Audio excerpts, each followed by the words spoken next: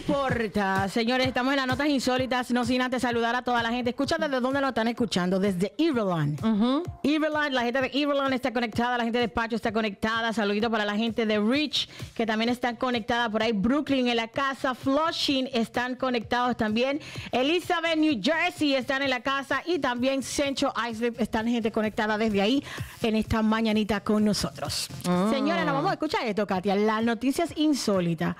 Esta muchacha está en el trabajo, se lleva bien con su jefa, pues la jefa cayó enferma y pues entonces la muchacha dijo, ay, pero ¿y qué es lo que te pasa? Y pues empezaron a investigar. Bueno, pues había que don- donarle un riñón a la señora porque ella estaba haciéndose diálisis y estaba en espera de este riñón y se agravó.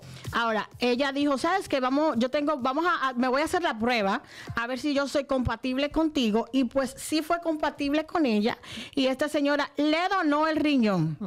Pero escuchen esto, señores. Ella le, donó- le donó este riñón, pero ¿qué pasó luego? A ella la votaron. ¿Tú sabes por qué la votó la jefa? ¿Por qué? Por haber no, porque por haber faltado al trabajo para ir a donar el riñón a ella misma. Señores, la, la gente está loca. Esta mujer identificada como Debbie Steven, de 47 años, le donó un riñón a su jefa. Sin embargo, esta la despidió por no ir a trabajar mientras estaba recuperando. De acuerdo con la información que se dio a conocer en New York, Debbie decidió donar a su jefa Jackie Bruce, de 61 años, su riñón, debido a que la mujer le contó que estaba luchando en contra de esta, pues, esta enfermedad de los riñones. Sin embargo, la donante terminó despedida por su jefa, quien argumentó que Debbie estaba tardando mucho tiempo en recuperarse de la cirugía.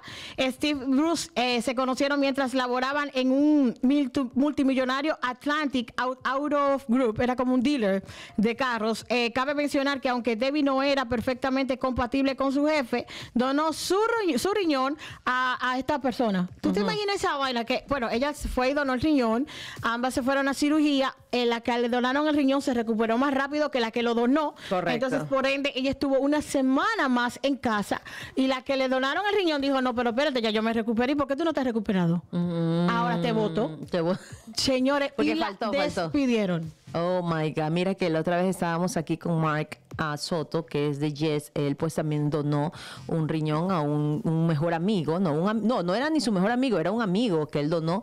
Este, imagínate, si él pudo hacer eso con un amigo, pues que se puede esperar con un familiar. Él lo hizo y él dijo que él se había recuperado rápido. O sea, él se- los dos se, se habían recuperado rápido. Este, eso va a depender mucho también del, del sistema de la persona, de cómo esté eh, salud. eh, o sea, en Hay gente que salud. cicatriza mejor que Hay- otro. Claro, entonces ellos tienen que esperar que si una estuvo mejor, la otra tuvo que quedarse más tiempo descansando y cómo la va a votar. Es injusto. Ahí está, para que Señores. vean, no, se, no, no se apeguen a nada. Imagínate, hablando de, de trabajos y todo, yo les pregunto a ustedes dos, si ustedes llegan a salir de aquí o su, ustedes creen que pues ya es hora de salir o, le- o les dan el layoff o su jefe le dice, ¿sabe qué? Tienen que retirarse, ¿dónde aplicarían?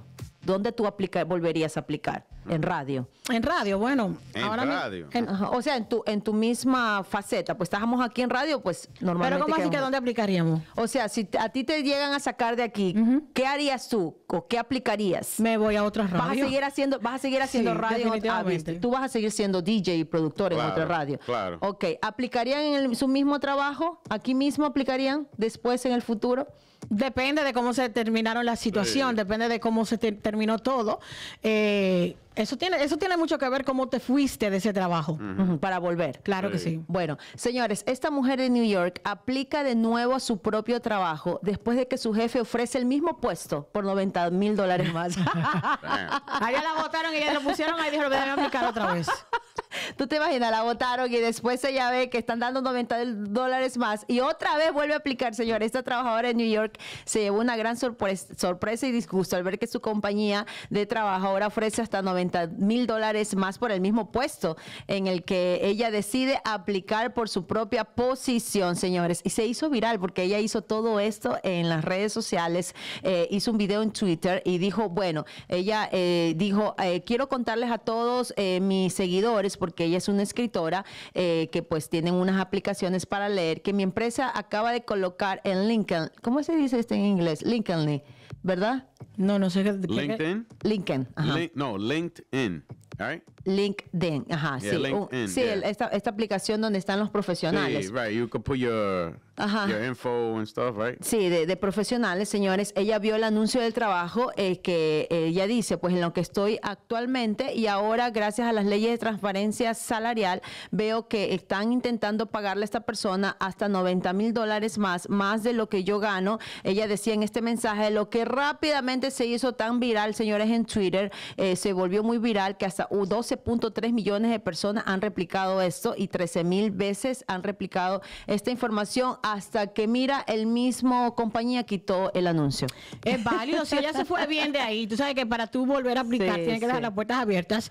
Y si tú le diste una notificación a tu jefe de dos semanas, mira, en dos semanas me retiro, entonces tú dejas las puertas abiertas. Le estás avisando con Y si el tiempo. jefe te vota, Ahora, si el jefe te vota, no te va a contratar otra vez. Eso Correcto. sería tonto. O sea, Correcto. No te va a contratar otra vez, a menos que pase un y que la- la- las aguas se calmen. Y entonces, pues, ah, eh, porque yo conozco a, a compañeras de trabajo que son muy buenas y la han tenido que votar, pero entonces ya después la jefa cae en cuenta que cometió un error o que déjame ver. O que la que- Exactamente. Y pues la han contratado nuevamente para atrás.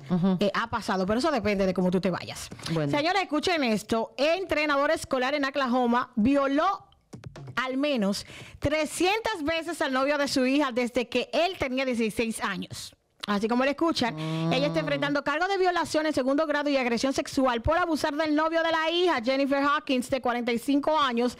Enfrenta estos cargos una entrenadora de porristas en la escuela de Oklahoma. Jennifer Hawkins eh, dice que, bueno, el muchachito dice que, que mientras la muchachita, que mientras la noviecita estaba en la escuela o haciendo baile, yo le decía, ven, ven, que, que mi hija está aquí, y ahí lo violaba. Oh. 300 veces el muchachito lo llevaba contada las veces que la violaba.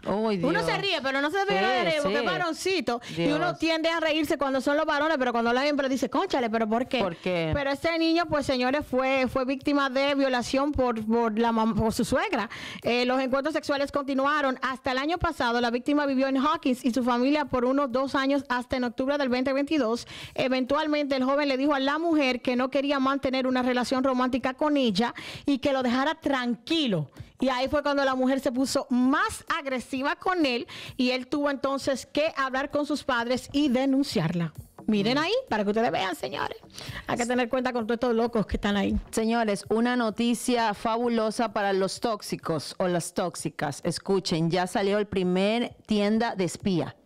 Señores, ya existe un negocio con nombre enigmático donde está ya la tienda de espía. Es imposible, es imposible no pasar por ahí, no dedicar un rato a recorrer qué es lo que están vendiendo. Gafas que vigilan a tus espaldas, relojes que graban conversaciones, gorras villarejos, dices, espejos que filman, filmadoras de todo tipo, de todos los tamaños, trackers, o sea, todo este tipo de cosas, señores, la tienda del espía es en un comercio emblemático donde aparentemente se dice las tóxicas y los tóxicos quieren llevar una vida matrimonial mucho mejor y que quieren eh, utilizar todas estas curiosidades para el espionaje y la vigilancia. Ya salió la primera tienda de espía por ¿Dónde Europa. que está? ¿Dónde que está? En Europa está. Vamos a dar una viajecita a Europa. Voy a ver Europa, tóxica al fin. De- dice que ya han llegado sus primeros clientes, señores, y que nada más y nada menos son las mujeres. Ya saben.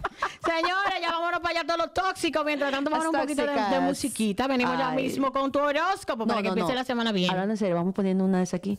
Sería bueno. Va- Ay, yo, yo busco corte. todo eso en YouTube, y lo- eh, en YouTube, en, en- ¿cómo se llama esta vaina? En, en Amazon. y lo revendo al doble. Y lo ponemos ahí en la sofa. Claro, Ahí en una la- mesita. En la sofa va- va- vamos a hablar de eso.